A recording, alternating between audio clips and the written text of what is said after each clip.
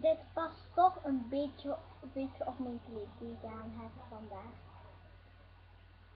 Ik zal wel voorstellen wat het is. dus. Ik heb dat eh, niet zelf gemaakt. Ik heb dat gekocht in Kruvat of zo. De winkel. Dat kan je kopen bij de oorbellen. Ik heb ook een paar oorbelletjes gekocht. Die zijn al lang kapot. Ja, en daarom heb ik ehm het kapot niet meer. Ehm, ik heb gedacht voor iets nieuws te maken. Ik weet niet wat.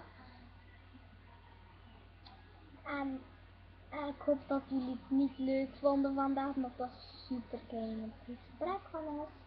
En ehm, ik heb ehm, deze mooiste oorbel van de wereld aan.